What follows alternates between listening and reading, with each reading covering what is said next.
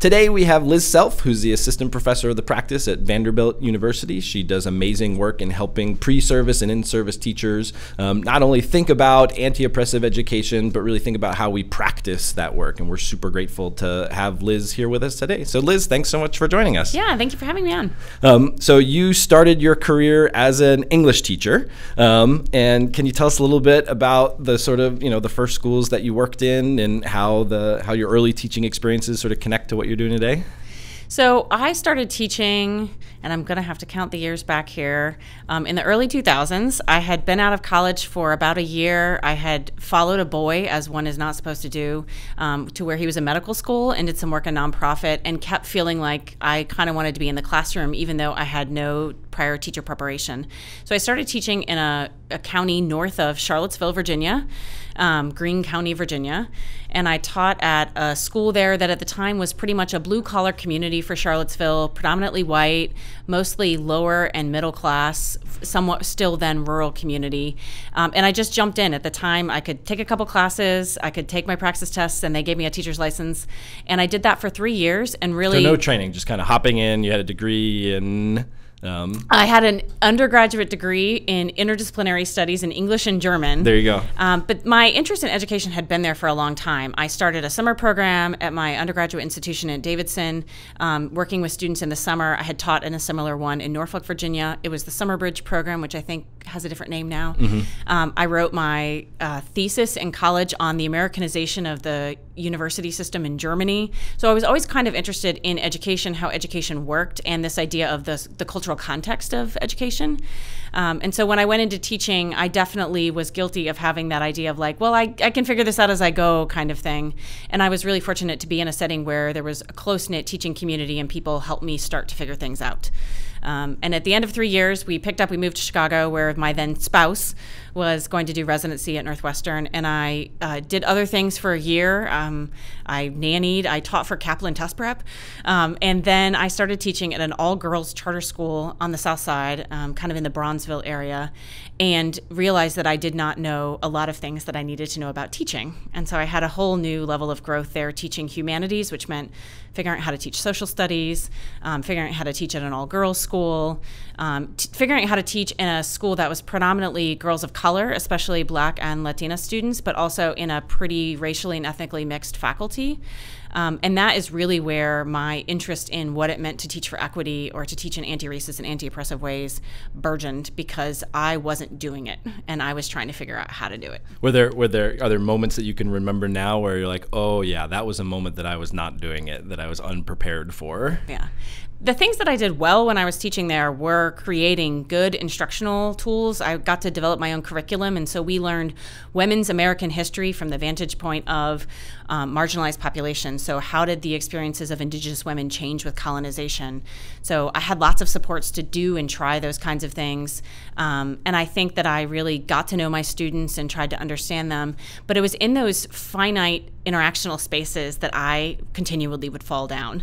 What's, um, what's a finite interactional yeah. space? So I remember one afternoon, I had a big event coming up the next day. We were having um, uh, an event and we were going to have uh, outside people come in to watch. And I had a couple of my students, all black students, come in to set up the classroom for the next day.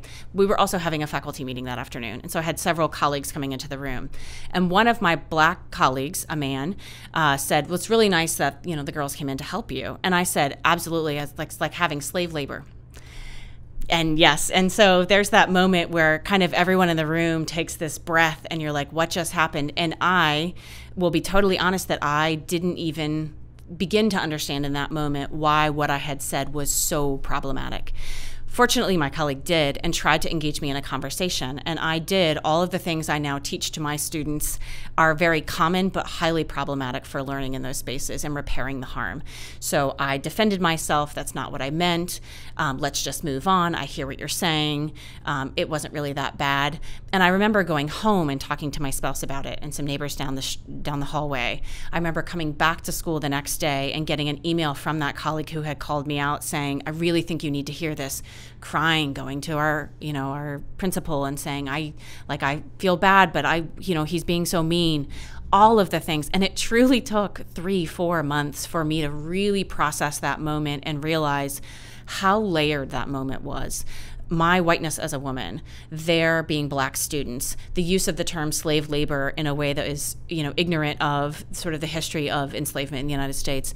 And it took significant work for me to be able to actually learn and open up to the continued learning I then needed. And I know that that's a relationship that I will never be able to repair. Like I did harm with that colleague. And while I have reached out to him in the ensuing years to say, I appreciate you, you taught me so much. And while I know I can't fix it, I wanted you to know that. Um, that's one of those things that I just have to own and you know I keep in my mind when I do the work that I do. Yeah, that's a really incredibly powerful story. Thank you for sharing that. Um, so then part of your research and part of your training with future educators is like trying to prepare them for some of those kinds of moments and you do a lot of that through simulation and practice. Can you describe some of the kinds of things you're trying to do now to help educators be better prepared for the things that you felt like uh, you wish you had been more prepared for so, a lot of the early work that I became interested in was this idea of critical incidents in professional development, which those exist in law, medicine, all sorts of professional preparation fields. And the idea of a critical incident is that you experience something and you become someone fundamentally different as a result of that incident, that finite moment, that interactional space.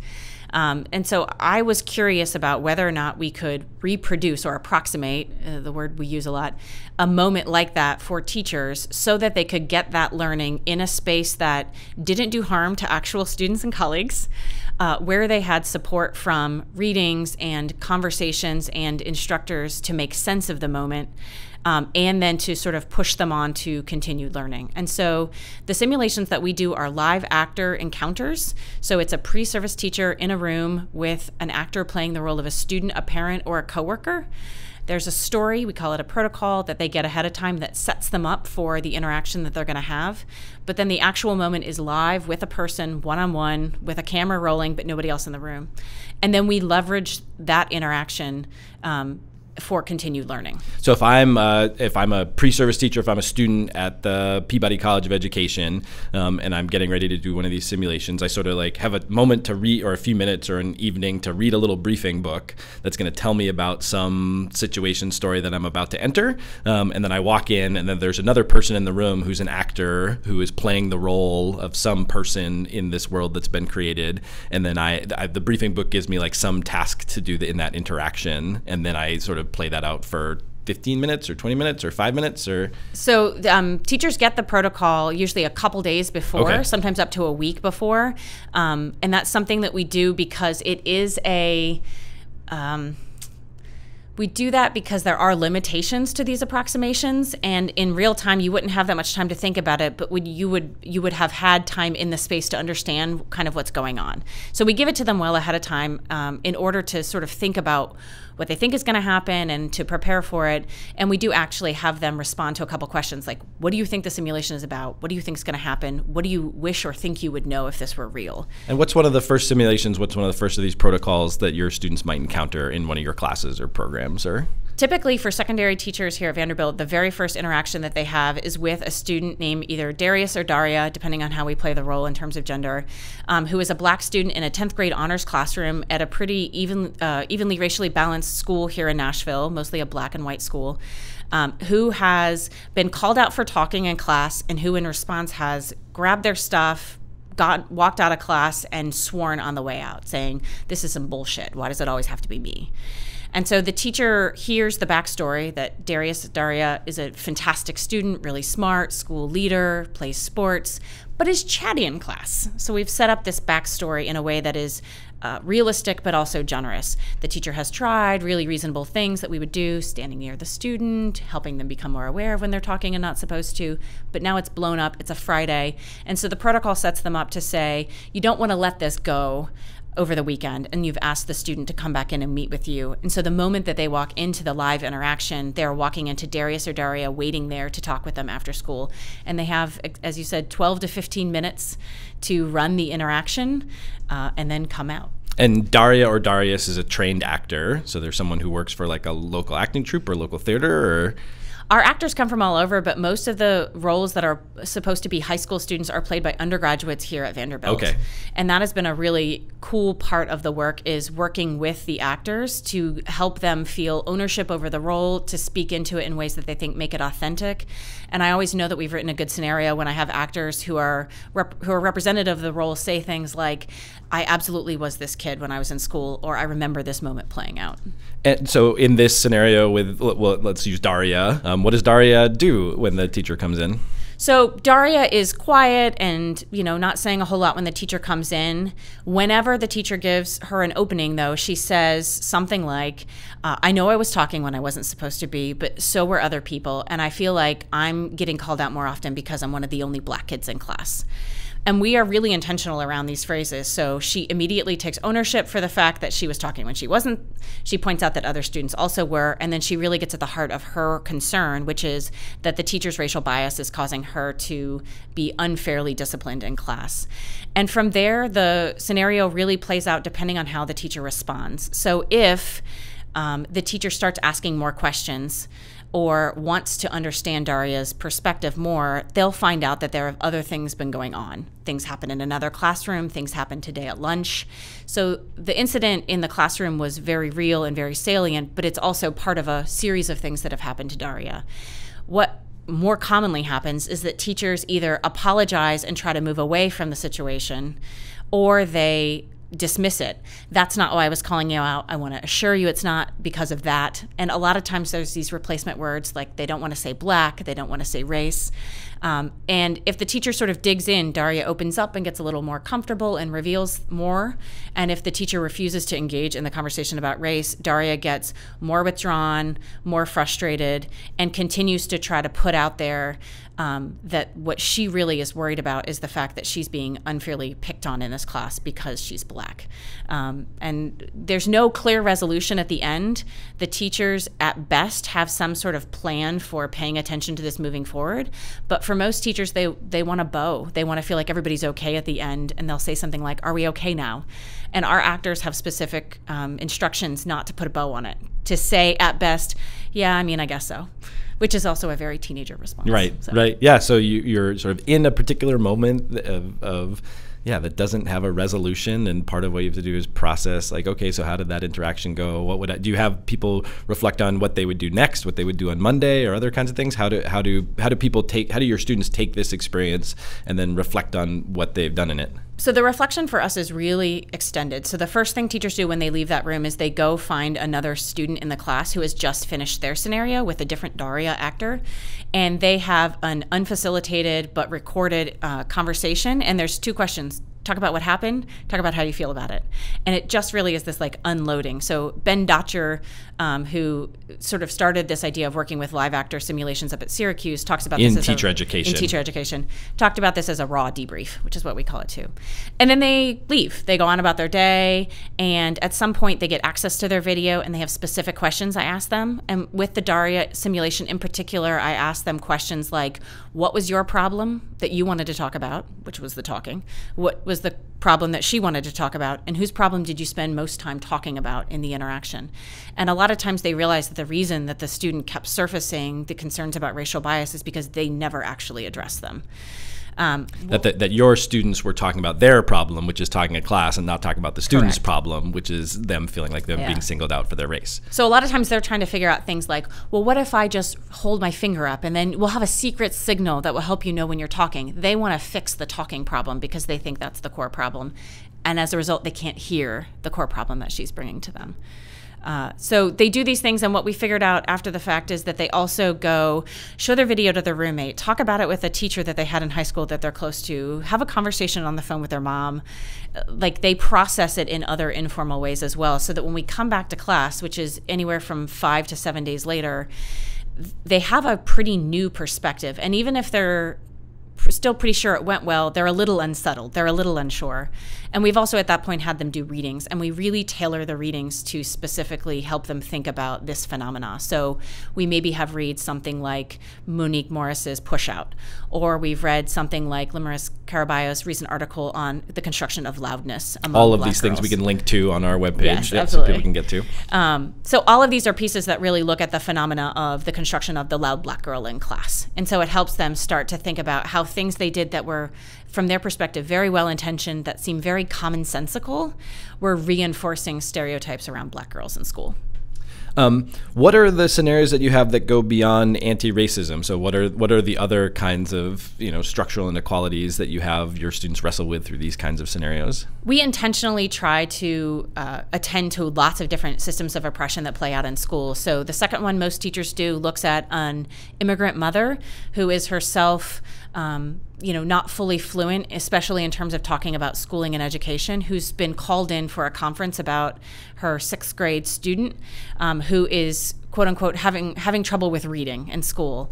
And so the teachers are having this moment of a, a parent conversation where they're trying to explain that they think a, a student is struggling and yet trying to do it in ways that aren't scaring the mom. So they very often talk about he's having problems he's struggling he's having trouble and she reacts to that in strong ways.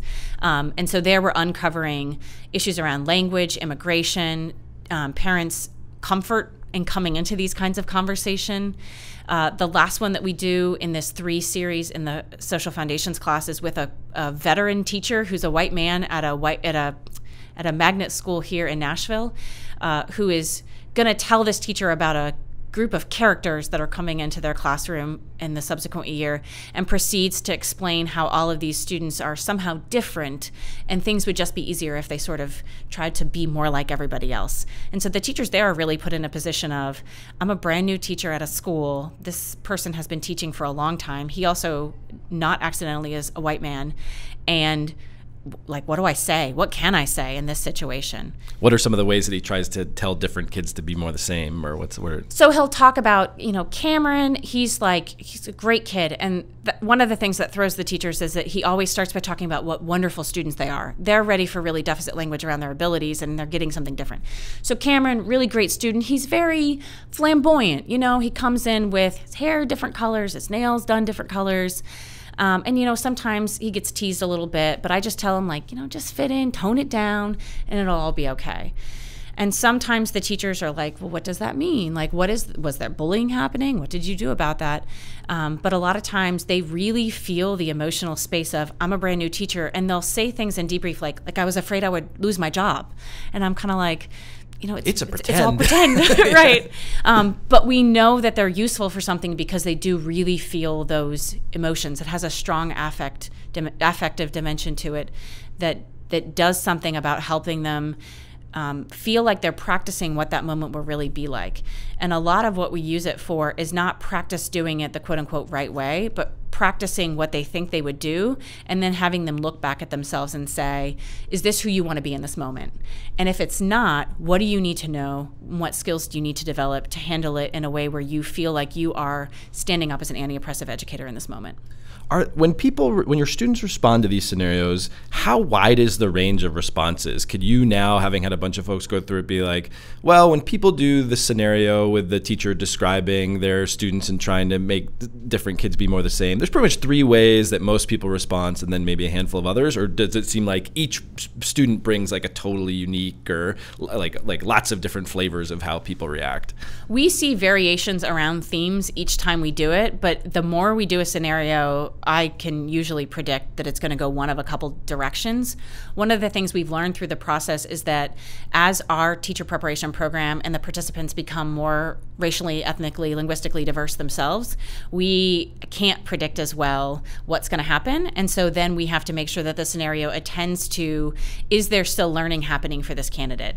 So when we first started doing the Daria simulation, we realized that for black teachers going through it, it felt weird.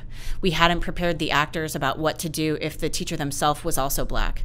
And so we've now dealt with that. So the, the idea that a black teacher may themselves carry racial bias and overly disciplined black students is still real, but the way a student might respond to things they say is going to vary. And so we've had to account for that variation.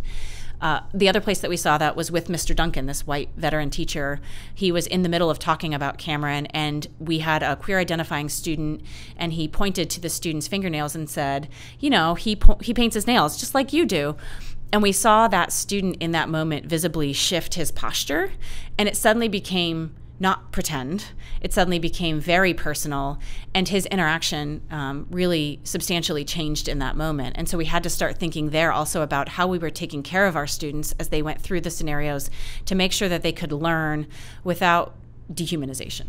And do the and do I mean I'm sure every student is different, but students like those queer students or black teachers who are tending to potential anti-black bias, did, uh, like, um, are you still finding this useful? I mean, is it too harmful for people to participate in these things for them still to be useful, or do afterwards they say like, oh, I'm glad I had that experience. It was hard in these ways, but I still feel like it was enriching. Sort of how's your what we've by and large found is that teachers do say this was hard or this felt like it didn't fit totally, but this is what I got from it. And so we we take the critical feedback and try to develop either the scenario, the way that we prepare the actor, or the readings that we provide after the fact. Um, to make sure that they feel like this was designed for me and I'm not an accident after the fact.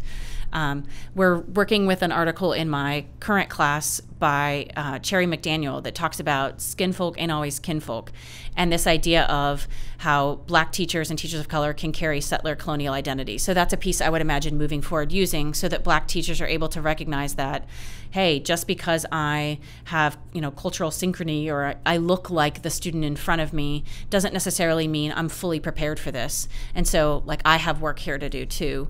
Um, and so we hope that teachers, as they go through, are able to tell us when they're feeling that harm because we need to hear that. And we try to create conditions where they will give us that feedback, but that we're able to continually iterate the scenario or the learning that comes after it to make sure that the learning is designed for them as well. How do you think the your pre-service teachers go into their classrooms, go into the field differently, having had this practice experience? Like, what what do you, are you at a point where you can say we think now that we're doing this much more here? What we hear from our teachers as they enter the classroom is that these kinds of things are easier or harder or different for them. The thing that we hear most often from teachers once they've gone out into the field, and sometimes this is during professional year, and sometimes it's two and three years out into the classroom, is that there's something about the feeling, again, that affective dimension that they have in the scenario itself, that causes them to realize they need to pay closer attention. Mm. So we talk about this at a very theoretical level as being pulled up short.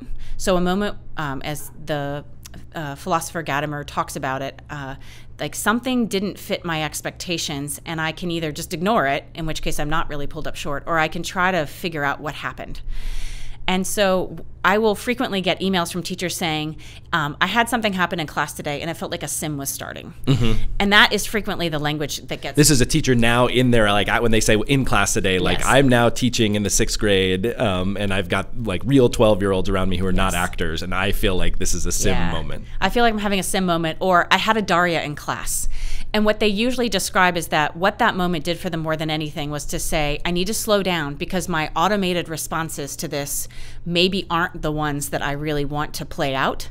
And so I have to slow down. I need to ask questions to understand the student's perspective. I need to think about what I know about the kid in my classroom and our school that might be shaping what's going on here. I need to ask for time if I need it. Um, we find that the pre service teachers often feel like they're supposed to be able to fix the problem in 15 minutes. And so we teach them really simple things like saying, Can I think about this over the weekend and let's talk more on Monday? That that is actually a, a tool that they can use in these conversations because they aren't solved in 15 minutes.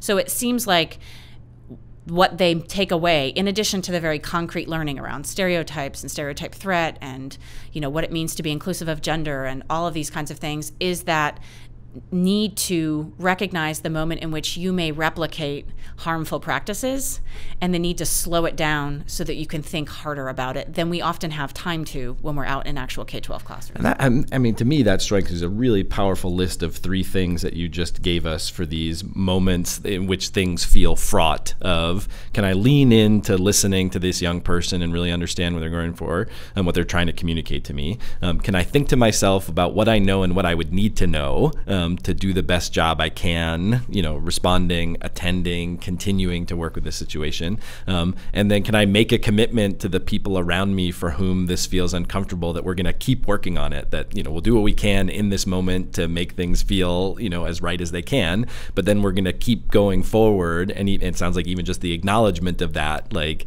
it doesn't tie things up in a bow, but at least it tells everyone we have not tied this up in a bow, but we're also not letting it go and not giving up on it. We're going to come back to it. Yeah, that seems like a really useful trio of things to turn to.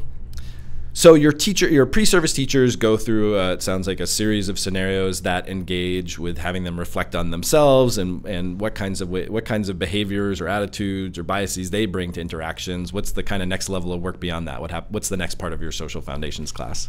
It's been really important for us that the scenarios not just live in one class. So they do start in that social foundations class that's early in whatever program they're doing. But we also want them, we want to make sure that they understand that these sort of fraught moments or these interactional spaces exist not just when you're talking explicitly around race, class, gender, sexuality, religion, language, but that exists when you're teaching math and when you're teaching science.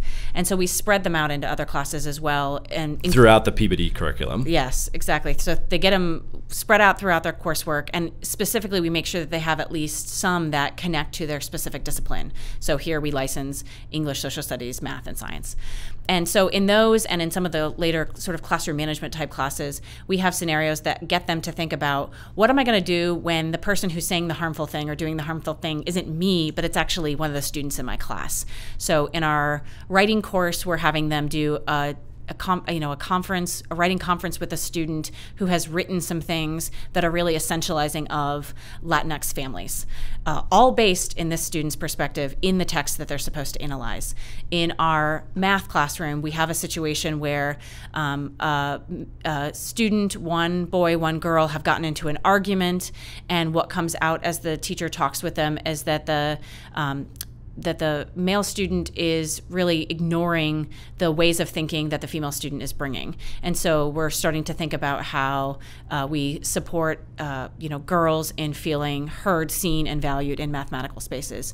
So here, with this next sort of slot of scenarios that they run into, they're thinking not just about what's my work to do as a teacher for myself and in myself, but also how am I going to create classroom spaces and how am I going to manage these conflicts that come up in ways that create create inclusive classroom spaces that again establish anti-racist, anti-racist and anti-oppressive um, classrooms so that my students are learning math, but they're also learning in a way that doesn't perpetuate, um, you know, highly masculine spaces or that push out students of color. Do you, have your colleagues embraced these sort of simulation practices? Has it been hard? What, what have you had to do to help other uh, faculty in the College of Education be good at using these approaches or be productive or, or, or uh, have them be valuable to student to the teachers who are learning here? I think I got really lucky in the sense that I we do just have a close knit group of faculty here, and so when we find things that seem to have a lot of promise, we try to take them up with each other. We recognize the importance of using similar structures throughout our courses. I think the thing that really bought a lot of people, especially in the secondary programming, quickly is that my students, I was having them in the social foundations class, and then they were going to their other classes where they were together as a cohort, and they kept talking about the scenarios. They it, uh, year semesters later, years later. Sometimes semesters back. later, but certainly like that. You know, they had something, and then the next day they see each other, and they they want to talk about them. Like they find them interesting things, and they want to talk about them. But yes, sometimes they would have a class the next semester and say, "This is like that scenario we did in Liz's class," and and then they were like, "What are you doing?" Uh, and so there was just a lot of openness to like, "Well, let's try it out. What would it look like here?" And so it spread. Um, and so they've really taken that up. But I would say the other thing is just that um, I've tried to remain open, and those of us that really work on these have remained open to getting critical feedback from our colleagues, their concerns, their wonderings. I'm seeing this happen that maybe you aren't intending. How are you taking that up? And so we've really, it's become a program thing where we learn and work with them. So, do you have advice for districts or schools or other people outside of colleges of education that might want to try to adopt some of these practice based, these simulation approaches with teachers who are currently working? I think there are a couple things that carry over well from the simulation work that we've done. One of them is to use those interactional spaces, those fraught, uncomfortable moments, to use those spaces as a place to go back to in order to learn from. So, if, like my colleague did, you see a, a teacher, a colleague, someone in your school really mess up badly, to try to figure out ways to go back to that. And you know, the teacher who's been harmed doesn't necessarily have to be the one to take on all that work, but they might find ways just to call out a need for it. And then to really dig into those moments in ways that let us think about why did this happen? What were the various effects that were had? And what could help us change that practice moving forward to better support students, families, to change systemic practices in our school, those kinds of things. I think the second thing is that time is of the essence here and in the opposite way we normally mean that phrase that sometimes these things have to play out over long periods of time and that's not something we normally embrace in teaching. We definitely have the one year let's get them here kind of mentality and yet anyone who's been involved in an educational endeavor knows that you learn more as time goes if you stick with it and that's true of just about anything. And so if something happened and it was left alone for a long time and then you realize it you know is rich in opportunities to explore, bring that back up and say, can we talk more about this? Or I know we had endless conversation about that, but I still feel like it's not done because there's a lot there. We, we know from the literature that there are so many decisions that are made by teachers, that they're highly complex spaces, and there's oftentimes real value in going back to something again and talking more about it. Um, so those are the, the two big things that I would say are really useful coming out of this. Um, and just above all, just stick with it and, and keep doing that work. Yeah, that these are things that can't be resolved in a one day workshop and uh, um, that it takes time. I mean, part of what you're describing throughout your program here at the College of Education is that these are approaches and things that people need to come back to yes. over and over again um, for their years of preparing to be teachers, and they should be things we go back to in our years of being teachers. Yes, for sure. All right. Well, Liz Self, the assistant professor of practice at Vanderbilt University, thanks so much. It was a really rich conversation. Yeah, thank you for having me.